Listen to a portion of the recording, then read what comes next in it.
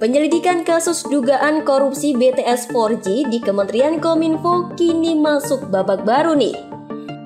Kemarin, Magdir Ismail, pengacara terdakwa Iwan Hermawan, bawa uang 27 miliar ke Kejagung. Magdir pun dimintai keterangan soal asal-usul uang tersebut.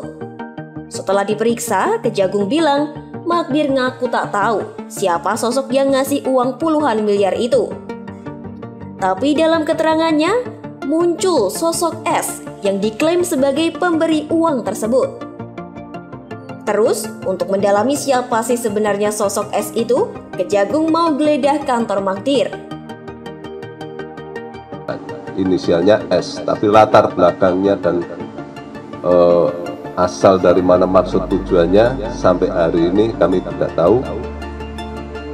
Dan oleh karenanya pada hari ini juga kami melakukan pemeriksaan kantor yang bersangkutan untuk mencari alat bukti terkait dengan siapa yang menyerahkan.